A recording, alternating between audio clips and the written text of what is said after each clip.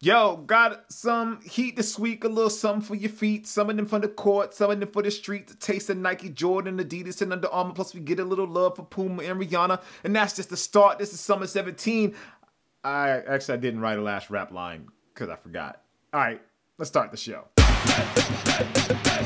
Welcome to the Heat Check. I am your host, Jacques Slade, and let's kick the show off with some sneakers that we literally just found out earlier this week, or very late last week. The Under Armour C1N in the hometown colorway for Cam Newton. And when I say hometown colorway, I basically mean a really bright red. From what I've been able to tell, this isn't a performance shoe, it's a lifestyle shoe, and Under Armour actually calls it an athlete-inspired shoe, and that it's a collaboration between Cam and the brand. Uh, these are priced really well at $120, and they'll be available starting today over at Finish Line. All right, keeping with the signature footwear vibe, Nike SB dropped the Zoom Dunk High Elite. Now, this is, in my opinion, one of the most revolutionary looks at the Nike SB Dunk, and it doesn't hurt that they threw it in that black and royal colorway a la the Air Jordan 1 Royal. These are priced at $130 and they're available right now.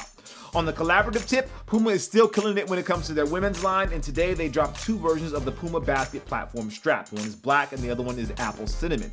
Uh, it's almost like they flipped the suede and made it leather, and then they added a strap across it instead of the laces, and these are going to cost you $110, and those are available right now over at Finish Line.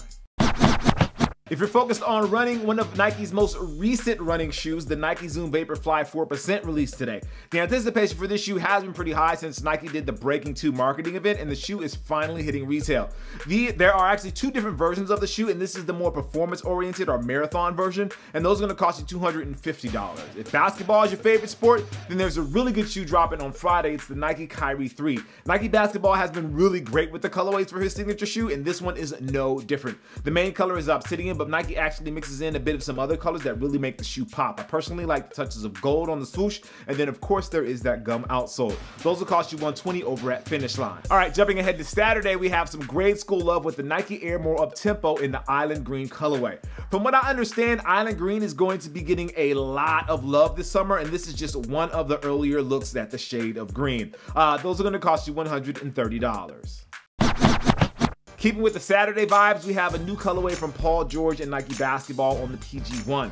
This colorway is officially called Blockbuster, and Nike says it's inspired by the magnitude of Paul George's action-packed game, but I kind of feel like it's another game entirely. Based on the colorway, it seems like it's a bit of a PlayStation inspiration, but calling it Blockbuster works just as well. Those will cost you $110 when they drop over on Saturday at Finish Line.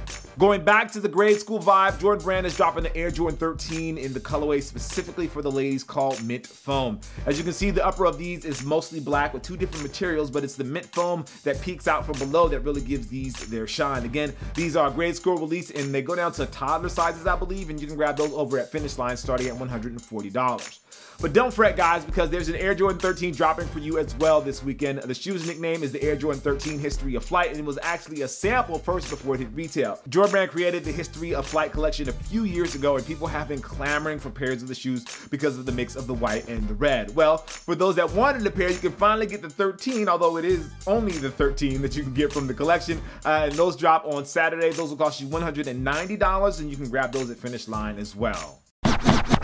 As with every week, there may be a few other things dropping, but I just wanted to give you guys a quick highlight of the stuff that I thought you would definitely be paying attention to. As always, I'm Jacques Slade. This is the Heat Check presented by Finish Line, and I appreciate you. Make sure you turn on your notifications for this channel, and I'll see you soon. Peace.